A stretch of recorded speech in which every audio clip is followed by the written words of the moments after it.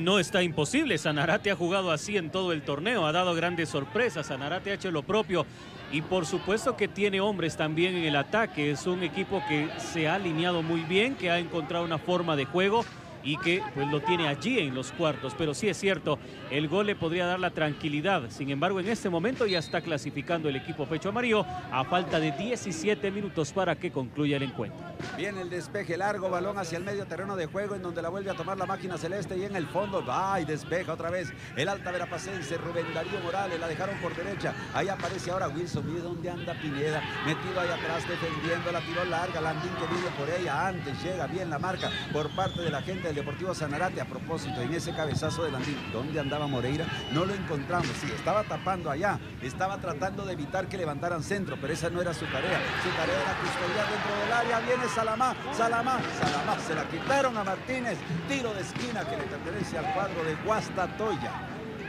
Así está el cielo. Así nomás pero 30 grados la temperatura. Nublado, pero un calor usted no tiene idea. Va a venir el Maxi Lombardi. Seguramente, seguramente, Beto. Centro que viene, balón por arriba, cabezazo, gol.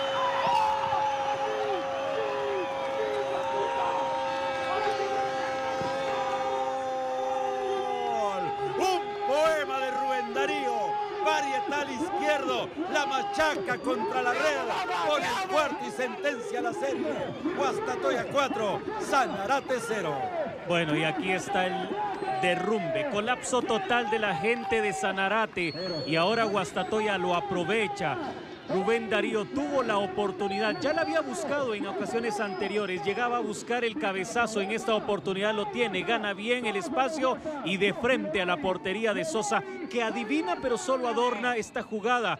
Muy bien, Maximiliano, para levantar el tiro de esquina. Vean ustedes qué impresionante, de verdad, también cómo llega, cabecea, la pelota va directamente al área pequeña y ahí está Rubén. Vean qué bien la posición de esta toma es impresionante. Para colocar el cuarto tanto Guastatoya ya lo gana Smiley. Por supuesto que la gente celebra, los que están eh, adentro del eh, terreno de juego, los eh, futbolistas y cómo están las bancas allá abajo.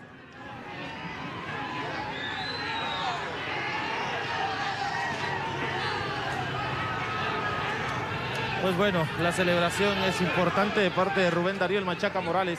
Hay un aficionado que es recurrente acá en las instalaciones del David Cordón y cuando ve que se va a hacer el cobro del tiro de esquina grita gol.